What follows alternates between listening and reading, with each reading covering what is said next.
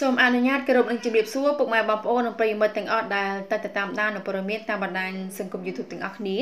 ហេតុអ្វីត្រីនឹងឆ្លងសមុទ្រងាប់មកទើនៅលើឆ្នេរច្រើនម្លេះខេត្តប្រសេះអនុបើតាមសេចក្តីរាយការណ៍បឋមបានដឹងថាប្រជាពលរដ្ឋនិងភ្ញៀវទេសចរដែលមកកំសាន្តនៅឆ្នេរសមុទ្រព្រែកត្រែងនាំគ្នាឆ្ងល់ហេតុអ្វីត្រីនឹងឆ្លងសមុទ្រងាប់បណ្ដែតមកទើនៅលើឆ្នេរច្រើនម្លេះក្រោយមានទឹកជំនន់ទឹកភ្លៀងនិងរលកសមុទ្រធំធំៗ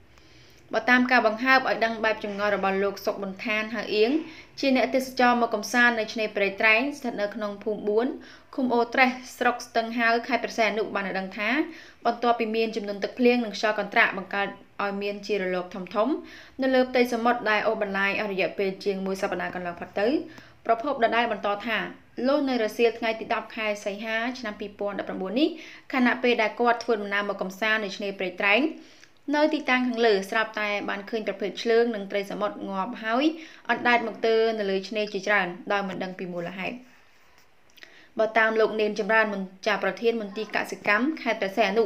បានរដឹងតាមទូរស័ព្ទកាលពីរសៀលថ្ងៃទី10ខែសីហាថាជុំវិញបញ្ហាខាងលើនេះលោកមិនបានដឹងទេចាំលោកសួរទៅមន្ត្រីនៅក្រោមអវ៉ាសិនព័ត៌មានពឹស្ដានឹងមានផ្សាយជូននៅលើកាសែតកសន្តិភាពចា៎ នេះគឺជាអត្ថបទព័ត៌មានមួយដែលតាក់ទងទៅនឹងបញ្ហាត្រីនិងឆ្លៀងសមុទ្របានងាប់មកទៅនៅលើចាស់ឆ្នេរសមុទ្រជាច្រើនដោយមិនដឹងពីមូលហេតុចា៎នាងខ្ញុំក៏សូមបញ្ចប់នៅព័ត៌មានត្រឹមតែប៉ុណ្ណេះ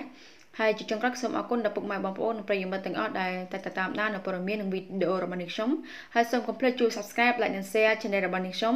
ដើម្បីទទួលបានព័ត៌មានថ្មីៗជាបន្តទៀតផងដែរនៅពេលនេះនាងខ្ញុំសូមអរគុណ